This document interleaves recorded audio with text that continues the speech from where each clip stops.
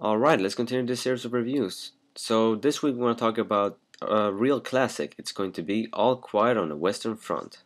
So, when it comes to re these reviews, I will usually spoil the movie, but for this occasion, I won't because this is a truly must see. So, there were anti war movies before this one, but none of them hit the mark and made its point so well, such as this one. It's still one of the most powerful movies ever made, out of any genre or time period. And not just that, the movie is also really among the best ever made. So, it came out in 1930 and is directed by Lewis Milestone, and in the leading roles are Louis Wolheim and Lew Ayres. I mean, just by how this starts off with a title screen saying, This story is neither an accusation nor a confession, and at least of an adventure.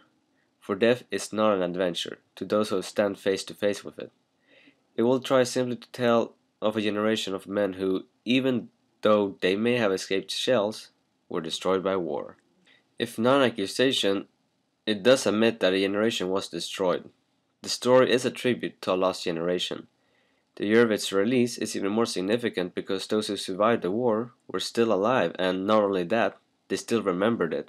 The movie starts off in a classroom with a teacher urging the boys to sign up for the war. And at this point of the war, it had been going on for a couple of months, and the Germans were on the winning side. So everyone thought the war was going to be over in a year, until a stalemate happened. So we see the boys dreaming away on all the glory they'll get from joining the war. But we as the viewer, we understand better. We know it won't be like that. So even as we, the viewer, understands that it won't be going as they think it will, we still value their hope and innocence.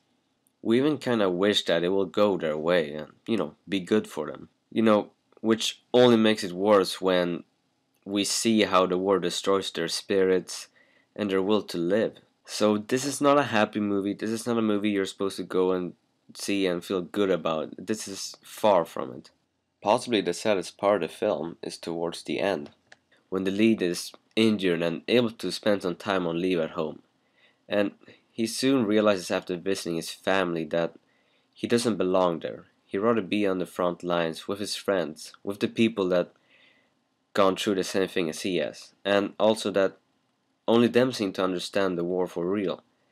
Back home, it seems like it's just a big game or a competition where everyone seems to know how a real war is when they haven't been to one. Well, I don't want to tell too much of the plot because it could spoil the movie, and I don't want to spoil the movie as I said before, but either way, we see these German kids we see them going through the war and how it changes them.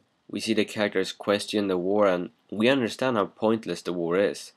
We see them go crazy, get hurt, die, and all the horrors of war. Aside from the French being referred to as the enemy, the film seems to be kind of neutral. It doesn't take a opinion of the war. It focuses more on the young soldiers and their experiences. So continuing with the movie, I gotta say that the filming or cinematography of this movie is really good for its time and it actually stands out a lot. The camera takes part in the action, it moves in and out, frames people in close up, and some of the most memorable images come when the camera tracks along with the soldiers as they charge the trenches. And it's interesting to note that some of the scenes were so realistic looking that they were actually used in real World War I documentaries many years later. And when it comes to the music of the movie, it doesn't really have much music, which only adds to the atmosphere.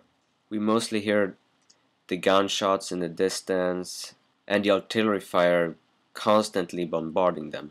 The movie only uses music when it's most needed and actually adds something to it. The biggest flaw of the movie is not the actual movie, it's that most people won't see it because it's old or black and white, which is a really big shame. But for you that is watching this review, I say don't miss out on this movie. If you're a fan of war movies or interested in World War One, or even the slightest interested in war, you have to see this movie.